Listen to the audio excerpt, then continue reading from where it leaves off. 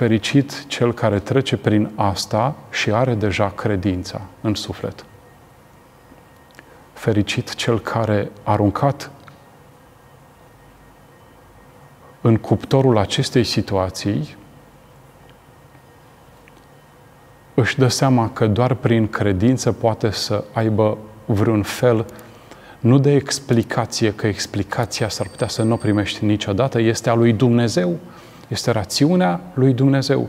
Dar ce primești totuși prin credință dacă ești, să zicem, părintele unui copil care suferă de cancer la vârsta de 3 sau 4 ani?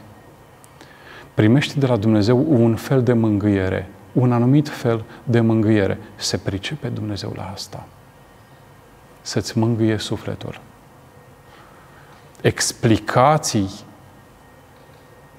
De unde explicații? Dar cine știe rațiunile lui Dumnezeu? Cine poate să pretindă că știe cum gândește Dumnezeu?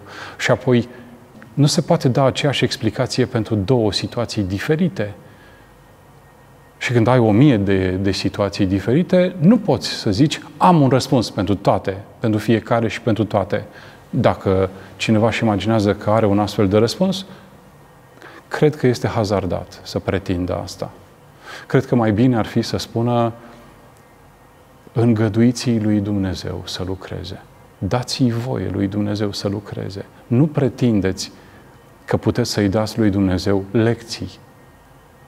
Lăsați-l.